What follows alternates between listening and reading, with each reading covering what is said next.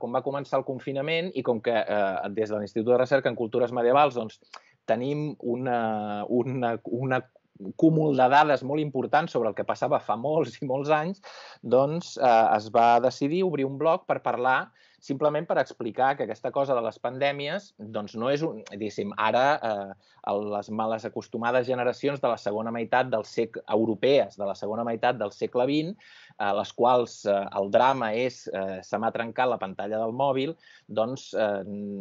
no sabien, eh, bé,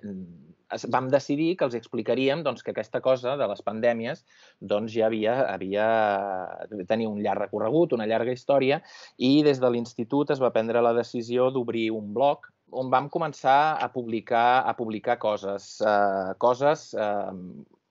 que per nosaltres eren molt conegudes, com aquesta, com aquesta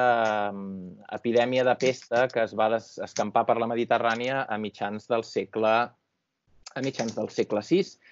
i que eh, la, Jordina de, la Jordina Sales, una, una investigadora de, de la Facultat de Geografia i Història, que, que pertany també a l'Institut de Recerca, doncs va titular La plaga de Justinià segons el, el testimoni de, eh, de Procopi. Bé, això... Eh, en aquest, en aquest bloc hi ha moltes altres coses. Eh? eh poc després, eh, i, i a tom d'això, per exemple, la,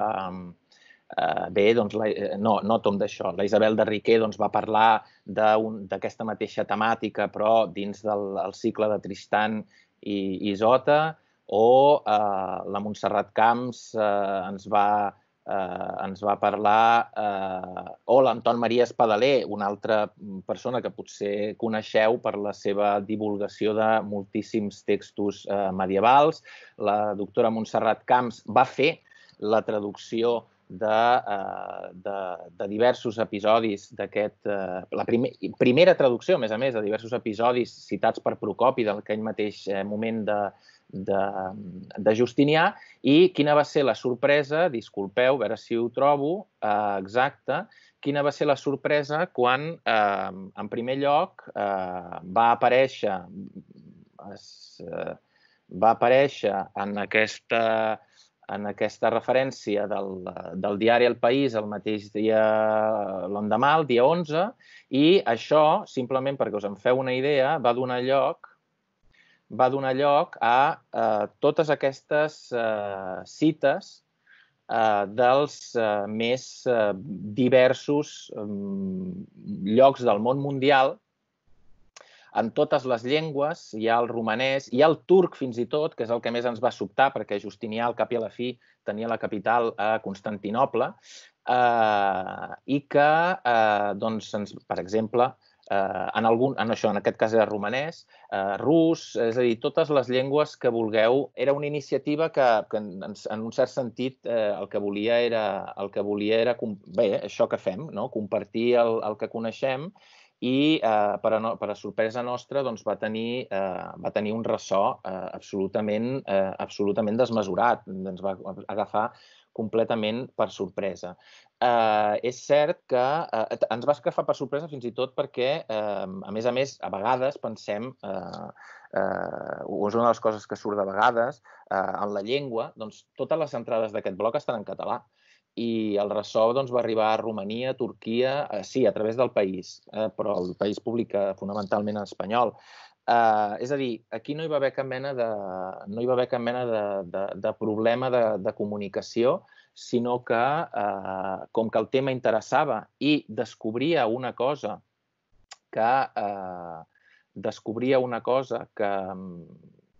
que molta gent desconeixia, doncs eh, les, les visites van ser, eh, van ser nombrosíssimes, nombrosíssimes. Uh, no sempre tenim, no sempre tenim aquest, uh, no sempre tenim aquest èxit, però uh, sí que, uh, sí que et fa pensar perquè un dels problemes, uh, generalment, quan, quan parlem de divulgació científica relacionada amb els estudis d'història, d'història de l'art, de, de filologia, tenen a veure amb aquella cosa de, bé, un, una, una, una resposta clàssica quan algú et pregunta que, que, a què et dediques i dius que fas d'historiador i llavors et responen, ah, però la història ja està escrita, no? Què, què vol dir que et dediques a fer d'historiador si, si ja no hi ha res que s'hagi d'explicar perquè ja està escrit, no? Eh, doncs bé, eh, te n'adones o, o, o va posar molt, de mani, molt, molt en evidència que coses i temes que per nosaltres són d'una absoluta, pràcticament banalitat, i a vegades aquest és el problema, que per tu són tan banals eh, que eh, no te n'adones que hi ha un desconeixement, eh, un desconeixement altíssim sobre, sobre molts d'aquests temes i que en moments concrets, com pot, pot ser aquest, doncs, doncs això desperta, desperta curiositat. També és cert, també és cert que no us he passat totes les, totes les cites que vam poder anar recopilant, però eh, que, i, i reprenent un tema que ha sortit, més que... És a dir, sí que segurament hi ha un cansament en la quantitat d'informació que s'ha anat generant, no, no per la quantitat d'informació, sinó per, per la concentració en la producció eh, que hi ha hagut en aquests, en aquests mesos, eh, però a mi més que això em preocupa la quantitat de infoxicació que hi ha. És a dir, eh, aquesta mateixa notícia ha acabat en els blocs més... Amb, eh, o sigui, aquestes referències o aquests textos han acabat en els blocs més inversemblants on eh,